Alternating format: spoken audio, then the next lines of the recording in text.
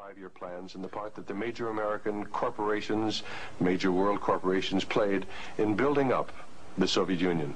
Well, there are two separate um, phases here. The, the new, econ new, economic policy was uh, started in 1923 by Lenin, and I found, and I published this in my first book from Stanford, that every single Russian industry was rebuilt or restarted by foreign corporations, mostly German, British, French, and American. By 1928, uh, Russia was back to approximately its 1913 um, in industrial output. And at that point, uh, she began to think of these grandiose five-year plans. And in 1928, Gosplan, which is the, the uh, Russian government planning commission, actually designed an initial five-year plan, but this was thrown out, it was in, inadequate, and American corporations were built in, uh, were, were brought into Russia. And the first five-year plan and the second five-year plan were actually designed in the United States by American corporations. And Albert Kahn laid out uh, the basics of the first five-year plan for the Soviets. And then we find again, the same corporations involved with the construction of the plants, International General Electric, certainly, uh, DuPont, Ford Motor, Hercules Motor, uh, Curtiss-Wright in aircraft engines, and even some corporations which today were forgotten about, like Vultee and uh, Chance Vought. These were aircraft manufacturers at that time. And so American corporations came in and they built the first five-year plan. But what was important, the Soviets then copied these plans, and this accounts for the tremendous Russian output. They took this initial equipment and they multiplied it, they copied it by the hundred. Now, how about Ford Motor Company? Did they play a part in the building up of the Soviet potential? Uh, very definitely. Uh, Ford Motor Company built the Gorky plant, and the Gorky plant produces uh, the GAZ series of vehicles, that's GAZ, and these are trucks, and some automobiles. And uh, right from the early 1930s, you find that the GAZ plant has had military potential, and Ford knew that when it went in and built the Gorky plant. And we know it because I found statements to this effect within the State Department files. What part did the American Lend-Lease program play in building up Russia's industrial capacity after the Second World War? Well, Lend-Lease built up Russia's capacity, modernized it, and expanded it during World War II. And there was some continuation all the way through perhaps to 1948, 1949. There was a program after Lend-Lease, which was supposed to be restricted to foodstuffs and industrial materials, but in effect, uh, I checked the records in the warehouses in Suitland, Maryland, I find that even after World War II, and this was against the intent of Congress, I suspect, there was a massive transfer of the latest industrial equipment to the Soviet Union under the so-called Lend-Lease program. American forces were held back for a while while the Soviets occupied East Germany. They stripped East Germany. They took back the latest of the V-2 rocket technology from Peenemünde and other places. And the V-2 became the basis of the uh, Russian space technology. Now, if you skip the inter inter inter intervening years, you will find when you come to the early uh, 1970s that the Russians did not have the capability to MIRV their missiles. And in particular, they lacked the ability to produce the very precision, micro-miniature ball bearings that are needed for the control systems. There was only one company in the world, Bryant Chuck and Grinder, which could make the machinery which machines the races which within which these ball bearings run. And without those races, you just cannot make uh, missiles in any quantity. You can make one off, but not in quantity.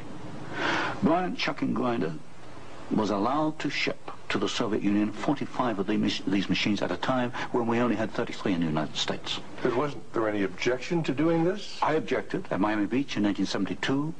Other people objected, but the objections were squashed. And predominantly at fault here is uh, Henry Kissinger and the incoming administration, the incoming Nixon administration. The, this was known, um, I'm sure it was known in DOD. If I knew it, then certainly DOD knew, knew it. The objections were squashed, and there was, a, there was suppression of the information. And so once again, we see America building up the military capacity, the nuclear threat from the Soviet Union. Well, this goes, you know, when you talk about moving of missiles, you're talking about During the Vietnamese War, the Soviet Union and the Eastern European satellites were the primary suppliers of war materials to the North Vietnamese who were killing American boys in South Vietnam.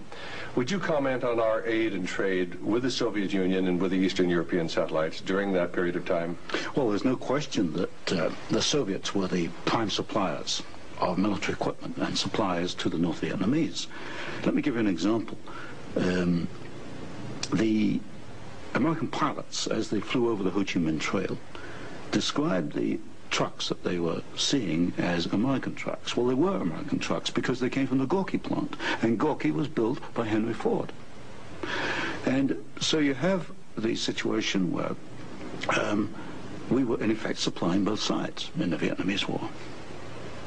The trucks were being built by the Soviet Union. However, were they getting any materials from the United States to help build those trucks? Yes, um, in the early 1970s, I know specifically of shipments of equipment into the Gorky plant while the war was going on, which in effect were aiding the Soviets to build more trucks to be used by the, by the North Vietnamese.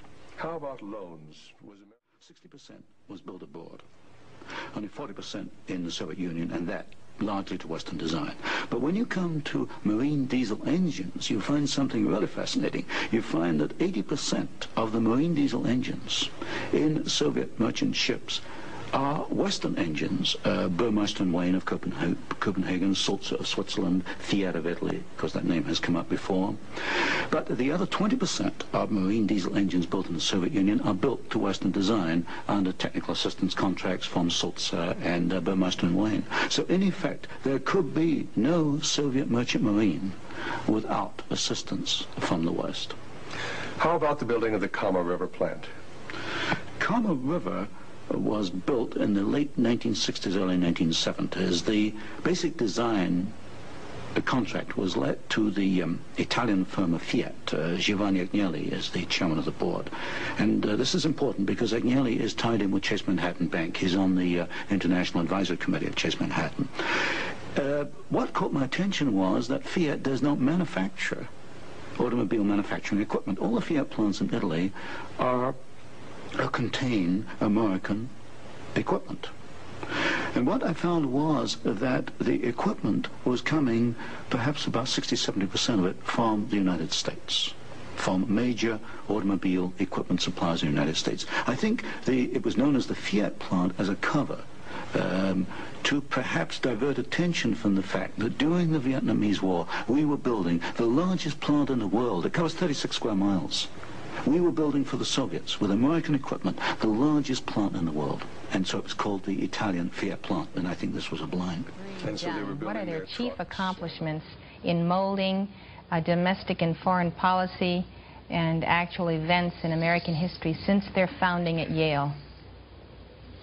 One is they have acquired enormous political and financial power you'll find representatives of the order in politics. As what have they done with this power? What, have what has happened to America that would not have happened had they not been the order? Uh, creation of war and revolution. Specifically, which ones? Do you have documents the third, on that? The third book in this series, which I'm bringing out, takes two wars and one revolution. Well, two revolutions, excuse me, two revolutions in one war. Uh, World War II, the Bolshevik Revolution, and the rise of Hitler, which I call a revolution in Germany. We can find the order behind the Russian Revolution, the Bolshevik Revolution. We can find the behind the rise of Hitler. We can find the behind. We can find the in the maintenance of both of these systems, the transfer of technology to both. Since you've already proven that Wall Street is behind the Bolshevik Revolution and the rise of Hitler, now you're proving that the order is behind Wall Street. Exactly. Trilateral Commission about managing conflict, not solving conflicts, but managing, managing conflicts. conflict. Conflict management. That's the that's the um, that's the cry. So they got the profit, the power, and the management. Mm -hmm. Where did they want to steer history through the Bolshevik Revolution? They wanted to set up, and they did, uh, two opposing forces. Out of that came World War II. Uh, there were logical steps in the process. They used the same bank, Guaranty Trust Company, as the conduit for the financing of Hitler and also as a conduit for financing and also the early days of the Russian Revolution. In fact, in Russia, Soviet Russia in 1923, a vice president of Guaranty Trust Company was the foreign director of the Ruskombank, which was the first Soviet overseas bank that was set up. They were that close in those days. You'll get a very close relationship between the early Hitler days and members of the order, which is in the third book.